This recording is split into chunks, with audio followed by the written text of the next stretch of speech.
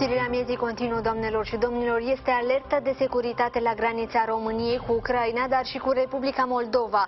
O rachetă rusească a trecut la doar 35 de kilometri de țara noastră, deci și de flancul estic al NATO, pe deasupra Republicii Moldova, în drumul său spre Ucraina. Avioane românești au fost alertate de proiectilul lui Putin și au monitorizat situația.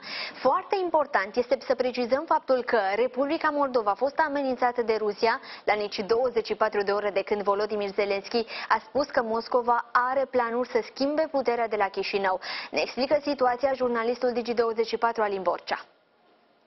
Bun găsit, Andreea, bun găsit tuturor. Rachete lansate de ruși din Marea Neagră spre vestul Ucrainei au trecut pe lângă România și pe deasupra Republicii Moldova. Ministerul Român al Apărării a transmis că spațiul aerian național și implicit cel al NATO nu au fost încălcate. Radarele românești au detectat racheta rusească și au urmărit-o constant în timpul zborului. S-a apropiat la cel mult 35 de kilometri de spațiul aerian al României.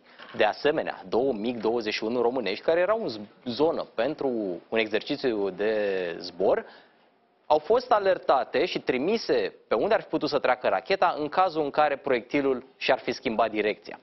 Această variantă a României este confirmată și de Ministerul Apărării de la Chișinău. Partea moldoveană a spus că racheta lansată de ruși spre Ucraina a trecut peste regiunea transnistreană și peste raionul Soroca din nordul, din nordul țării.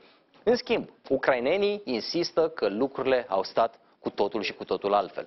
Generalul Valeri Zalușny, șeful statului major de la Kiev, a spus că nu una, ci două rachete au trecut pe deasupra Republicii Moldova și că au intrat și în spațiul aerian al României, înainte să lovească Ucraina.